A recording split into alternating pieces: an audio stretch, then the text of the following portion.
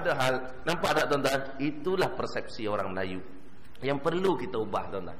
Okey, jangan menilai orang mati tak boleh mengucap je suul khatimah tak tuan-tuan. Mungkin dia mati dalam keadaan yang tengah sujud pada Allah Subhanahu taala. Dia lintah jalan nak semayang berjemaah di sini kena langgar, mati dalam keadaan dia tengah nak buat amal ibadah.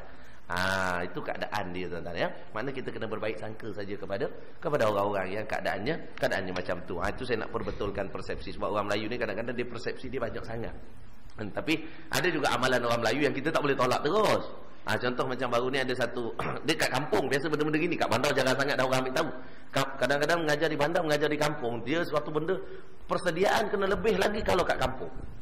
Sebab kat bandar ni dia orang ditanya benda-benda yang biasa berlaku dalam situasi itu. Tapi kalau kat kampung benda yang kita tak terfikir sebenarnya. Ha, macam baru satu kampung saya tak nak sebut lah kampung agak pedalaman sikit yang datang pun otak-otak belaka nak pergi pun terpaksa. Kalau di, di, di sini kita eh, eh, eh, motong kereta nak cepat kan. Kat sana terpaksa berhenti lembu lintas dalam kereta biawak pulak melintas Lepas tunggu pulak kadang-kadang ha, ini kampung saya pernah pergi tak nak sebut kat mana lah tuan-tuan tapi belah sepang sana Akhirnya saya kata pada AJK Masjid, saya minta maaf lah. Sebab saya tak mampu dah nak pergi ke sini. Ustaz, tak kalau Ustaz tak mampu nak mengajar. Bukan masalah itu saya kata. Saya balik rumah, sampai rumah pukul 6. Bila sampai pukul 6, saya nak bersiap pula dunang-dunang-dunang 6 suku. Saya pernah bertolak daripada rumah 6 suku tu tak? Saya sampai ke kampung tu pukul 8.30. Sebab apa banyak sangat binatang melintah tengah jalan tu. Saya sebab hmm, takkan pula aku nak langgar biawak tu. Nampak? Ah, itu kalau biawak dua tiga ekor, belum kira lagi biawak ni melintah, hak sini pula datang. Oh, ke tempat melintah pula.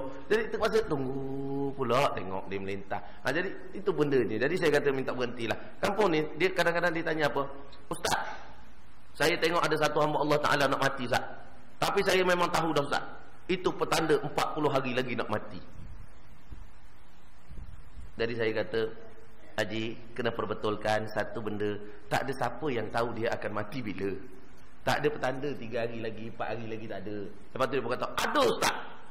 Kat mana? Saya kata Haji dalam kitab menyebut barang siapa yang merasa akan getaran ini saya ingat sampai hari ini tuan walaupun benda tu dah dua tiga tahun lepas. Barang siapa yang merasa akan getaran seluruh tubuhnya getaran itu bermula daripada hujung kaki. Ketika dia duduk ujung kaki bergetar mula-mula. Biasanya berlaku selepas asar tuan-tuan dia kata. Bila bergetar su kaki lepas tu dia bergetar naik ke seluruh badan. Rasa macam vibrate badan kita tu itu petanda 100 hari lagi nak mati. Ha tu. Lepas tu dia kata kalau dah badan tak vibrate tu lama kita rasa okey. Nampak okey pula. Tiba-tiba satu hari tu rasa pula dekat pusat tu pula dia ada rasa kata dia ada rasa macam tu dia kata ustaz itu petanda 40 hari lagi nak mati. Saya kata lagi? Dia kata kalau yang lain lagi maknanya bila mana seseorang itu sakit dia kata uh, tak boleh makan. Sakit tak boleh makan. Biasa kita tengok kan sakit tak boleh makan. Tiba-tiba dia ada selera nak makan. Ha, biasa begitu. Itu lagi tujuh hari nak mati. Ah, dia ada saya kata ai pening aku tak pernah tengok hak ni kata. Okey tak apa dia kata. Lepas tu dia kata kalau yang lain lagi ada lagi tak? Lagi dekat nak mati. Dia kata ada lagi ustaz. Apa tandanya? Kalau kita rasa berdenyut-denyut kat sini, antara dua kening ni, kan dia rasa di, di, di, di, itu tiga hari lagi nak mati. Tiga hari. Oh, saya kata lambat lagi tiga hari tu. Ada satu lagi ustaz. Yalah. Kat mana pula? Dia kata kalau rasa berdenyut-denyut kat ubun-ubun ni, biasanya dia kata kalau berdenyut kat ubun ni Zohor, Zohor, makna tak sempat asal akan mati dah. Ah itu saya kata mana kau dapat benda ni ji. Dia kata ini ustaz orang Melayu punya ustaz. Dia kata amalan-amalan tu. Apa? Ha, kalau yang saya sebut yang ketu, yang yang tujuh hari tadi maknanya yang, yang sebelum tujuh hari nak mati tu kalau dia sakit tak boleh makan tiba-tiba dia berselera nak makan. Ha, itu petanda lagi tujuh hari nak mati. Ha, hati-hatilah. Weh ustaz, saya memang tengok ustaz. Betul lah jadi gitu. Kebetulan. Ah, kebetulan saja itu kerana ketentuan Allah berlaku begitu. Bukan kerana 100 hari, 20 hari, kalau nak main vibrate vibrate gitu, cuba tanya kita duduk lama-lama gini, tak vibrate kan? Tapi kebah kaki tak? Kalau kebah kaki tu maknanya berapa hari lagi? Wallah alam lah. Sebab kebah kaki yang tadi vibrate saja. Kalau kebah memang tak boleh berdiri. Bila tak boleh berdiri lagi berat lah maknanya. Ah, kalau nak fikir begitu. Tapi kita tak boleh buat. Tak boleh nafikan terus kerana ini kadang-kadang base kepada experience pengalaman dia. Macam contohlah penggali kubur lah. Gali kubur kita lalu sebelah dia, dia pun? Kita pernah. Apa pandang-pandang aku ni? Bau kapur baru lah dia kata. Apa masalah pula bau kapur baru? Biasanya kalau aku bau kapur baru ni orang dekat aku mati tiga hari lagi. Ha, jadi kita tak boleh ambil cangkul ketuk kepala menggali kubur. Ha, sebelum aku mati kau mati dulu. Ketuk tak boleh. Sebab dia bercakap atas pengalaman dia. Mungkin kebiasaannya begitu. Ha, tapi tidak pasti.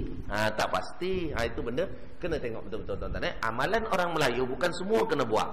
Tapi ada yang perlu kita sesuaikan dengan suasana dan keadaan. Macam kita ambil contoh sahabat Nabi lah kan. Bila isu jampi serapah dan sebagainya. Bila sahabat tu kata, Ya Rasulullah ini aku dapat, uh, boleh tak aku teruskan jampi serapah aku zaman jahiliyah dulu. Nabi kata, bentangkan kepada aku bacaannya dulu. Bila sahabat tu bentang, Nabi kata tak ada unsur-unsur yang syirik, lalu teruskan saja. Ha, itu maksud dia. Maknanya jangan buang terus. Benda ni kadang-kadang bertepatan dengan situasi-situasi. Tapi bukan etikat kita. Ha, itu kena betul. Jangan etikat. Okey, jangan etikad. Baik. Itu cerita mati hari hari Jumaat. Okey, kita berbaik sangka saja. Orang yang mati hari Jumaat ni maknanya adalah orang yang tak enggak dapat pelepasan daripada azab kubur. Tapi kena tengok betul-betul lah. Kalau memang orang tu mati dalam keadaan memang mati hari Jumaat lah. Ada setengah orang mati hari Jumaat juga. Tapi mati bunuh diri. Nampak terjun bangunan hari Jumaat semata-mata nak dapat pelepasan azab kubur tak dapat. Nampak sebab dia dengar hadis hari ni tiba-tiba dia kecewa panjat bangunan terjun mati hari Jumaat. Oh saya akan dapat pelepasan kubur. Tak dapat ni. Mati bunuh diri, dia akan keadaan itulah sampai bila-bila. Nampak kalau dia iktikad benda tu halal. Dia terjun pecah kepala. Hari kiamat besok dia akan naik balik, terjun balik, naik balik, terjun balik. Sampailah kalau dia kalau dia iktikad benda tu halal, dia akan buat sampai berterusan tak ada penamatnya. Ha, tapi kalau dia tahu benda tu haram, tapi dia buat kerana tak tahan tekanan hidup, dia tidak menghalalkan perbuatan tu. Bila tak menghalalkan perbuatan tu, maka dia masih mati dalam Islam. Okey, ha, itu maksud dia. Baik ya. Jadi itu mati hari hari Jumaat. Kemudian dia, yang lain pula disebut dekat sini ialah Ah, cuma saya dah sebut dah tadi. Maknanya kalau mati hari Jumaat ini, pelepasan itu dapat hari Jumaat, setiap hari Jumaat ke berterusan ke yang itu urusan Allah Subhanahu wa taala. Ah, cuma Nabi sebut orang mati hari Jumaat dapat pelepasan daripada daripada azab kubur. Mati bermula daripada kita kata kalau kalau dalam kalender Islam, hari Jumaat tu bermula pada terbenam matahari itu.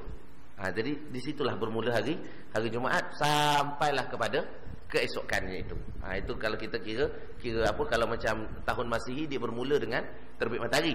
Yang kita ni bermula dengan terbenam matahari, ya. Ha, baik itu contoh dia. Ha, kemudian yang seterusnya. yang kelima rasanya hal lain adalah meninggal dunia di medan perang ketika memerangi orang-orang kafir. Ha, ini maksud mati syahid lah. Mati syahid. Sebagaimana yang disebutkan dalam hadis marfu' yang diriwayatkan oleh Ibnu Abi Syaib Ibnu Abi Syaibah ya. Ibnu Abi Syaibah dan yang lainnya kullu mu'minin yuftanu fi qabrihi illa syahid yakni al-maqtul fi sabilillah.